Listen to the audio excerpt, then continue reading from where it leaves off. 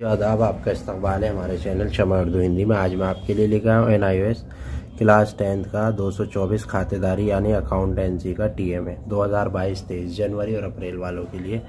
पहला सवाल है कि कारोबारी और गैर कारोबारी लेन देन की दो दो मिसालें पेश कीजिए। तो इसका जवाब आप लिखेंगे, कारोबारी लेन देन की दो मिसालें दर्ज हैं। आप अपने घर में बहुत से लेन देन होते हुए देखते होंगे, जैसे सब्जियों की खरीदारी, स्कूल की फ़ीस, टेलीफोन, बिल, किराया वगैरह की अदायगी। इस तरह की कारोबार बहुत सारी लेन देन होते हैं। है ना? कारोबारी लेन देन या सौदे कारोबारी सरगर्मियाँ हैं। इनमें अशिया का मुतबादल या रकम या ज़र की कीमत के बदले खदमात जैसे नकलो हमल स्टोरेज, ठीक है, ब्लेमिंग वगैरह शामिल है। गैर कारोबारी लेन देन की दो मिसालें हैं। वह दुकान से एक रकम लेता है और अपनी बीवी को साड़ी ख़रीदने के लिए एक हज़ार रुपये देता है। वो फैमिली की तकरीब में शामिल होता है तीन हज़ार रुपये की कीमत के तोहफे हासिल करता है। दूसरा सवाल है कि बंदोबस्त की तश्कील के मकासद के लिए किस लिए किए जाते हैं? तो इसका जवाब आप लिखेंगे कि जैसा कि आप जानते हैं, जैसा कि आप जानते हैं कि हमारे रोज़मर्रा की मामूलती ज़िंदगी में हम मुस्तबिल के मुतव ज़रूरियातों के लिए मुख्तलिफ़ बंदोबस्त करते हैं। मिसाल के लिए अगर आपके वालिद, आपको अली तालीम जैसे इंजीनियरिंग, डॉक्टरेट या कोई दीगर प्रोफेशनल कोर्स कराना चाहते हैं तो उन्हें काफ़ी रकम की ज़रूरत होगी। कि आपके वालिद किस तरह उन रकूम का बंदोबस्त करेंगे? बंदोबस्त की तश्ील उन मकासद के लिए होती है। असासों की कदर में फरसोदगी, तजीद, तजदीद या कमी। मालूम हो जहात व रकम का तयन, कम व बेश दुरुस्तगी के साथ नहीं किया जाता। मुतनाज़ दावे, वाजिबात की अदायगी, डूबे कर्ज़ों या मशकूक कर्ज़ों का पता लगाना वगैरह। तीसरा सवाल है मंदर सवाल में से किसी एक सवाल का जवाब चालीस से साठ अल्फाज में दीजिए। दूसरा असासों के तौर पर कारोबार के पास जो कुछ भी है, उसे अमलाक या बाहरी लोगों के ज़रिए फाइनेंस किया जाता है। मुनासिब मिसाल की मदद से इस बयान की वजाहत कीजिए। तो इसका जवाब है कि इन कारोबारी असासों को एक शे है जैसे कारोबारी कंपनी एक असासे के ज़ुमरे पर मुहित होती है।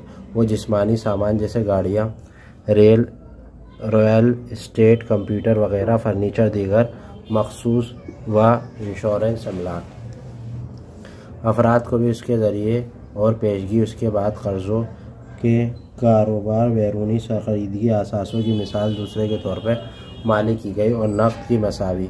अकाउंट वसूल करने वाले थ्री मार्केट, ये सारी बातें आप इसमें लिख देंगे।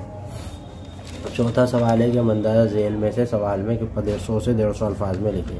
मुख्तलिफ़ तंजीमों की दो मुलाजमीन के साथ तबादला ख्याल कीजिए और वजाहत कीजिए कि हिस्से हिसाबदारी किस तरह मुफीद है।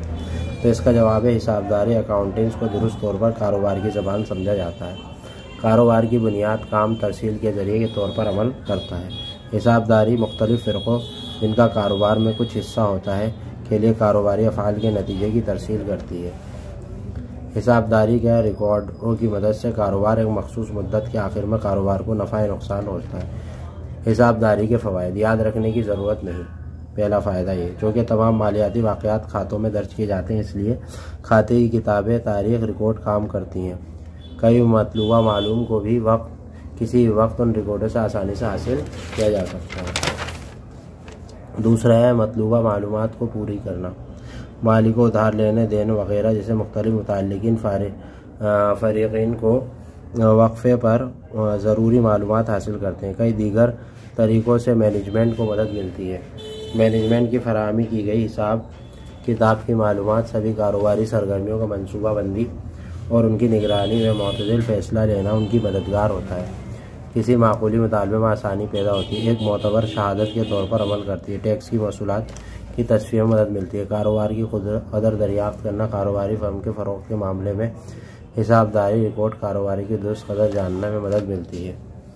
तो ये सारी बातें इसके बाद जो है पाँचवा, पाँचवें सवाल को आप देख लीजिए सवाल है और इसका जवाब यहाँ पे लिखा हुआ है। क्योंकि ये जवाब बोल के समझाने का नहीं है, इसी वजह से मैं आपको दिखा देता हूँ। आप इसको किस तरह कर सकते हैं? ठीक है? तो आप ये सारा उतार लीजिएगा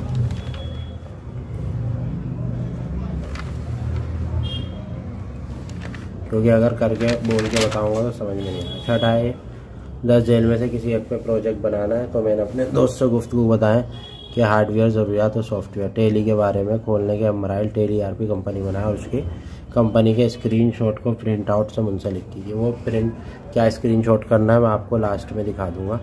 ठीक है, ताकि आपको याद रहे। सबसे पहले डॉफलैंड में टेली को चलाने के लिए मतलूबा प्रोग्राम सेव की जाती है। पी को तनसीब तनसीब किया जाता है। इस्तेमाल कुलिंदा और ये सारी बातें आप इसमें लिख देंगे।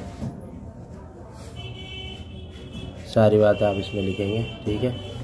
फिर इसके बाद यहाँ पे वाली सारी बातें, कंपनी को कैसे तकलीफ़ करेंगे, क्या इसके पॉइंट्स हैं, ये सारी बातें आप इसके अंदर लिख लेंगे। उम्मीद है कि ये पूरी वीडियो आपको पसंद आई होगी और आप मैं आखिर में आपको ये फ़ोटो भी दिखा देता हूँ कि टेली के प्रिंट आउट कैसे निकलवा के इसमें लगाना है। उम्मीद है वीडियो पसंद आई हो तो प्लीज़ वीडियो को लाइक करें, शेयर करें, चैनल को सब्सक्राइब करें और कोई भी डाउट है तो हमसे कॉन्टैक्ट करें। मेरा नंबर डिस्क्रिप्शन में है। शुक्रिया।